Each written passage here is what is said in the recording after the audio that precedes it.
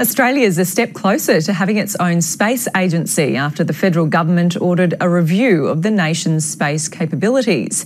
Scientists and the federal opposition say the case for one is clear, arguing it'll help Australia tap further into the multi billion dollar space industry. Here's political reporter Jane Norman. On the other side of the globe, Australia's being launched back into space.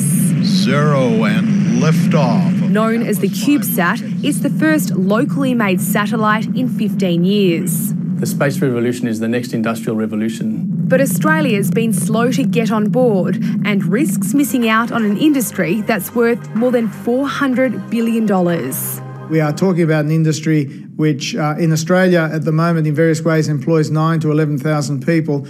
Um, so there's plenty of scope for it to grow. To help map out a path, the federal government's launched a review into the nation's space capabilities, looking specifically at whether Australia should establish a standalone space agency. This is a case where the government has yet to set up yet another committee, when in fact they should have been making a decision. Even New Zealand has a space agency. In fact, Australia is one of the only wealthy developed nations without one. A good example is the UK Space Agency.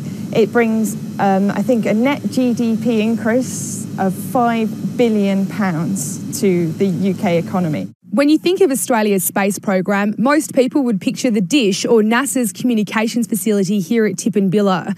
Australia has traditionally played a passive role in space activities, and as a result, it relies heavily on other countries to launch satellites and provide data for things like navigation and weather forecasting. Australia is one of the most uh, prolific users of space technology, so we're definitely, you know, freeloading off every other country. There are important strategic considerations too.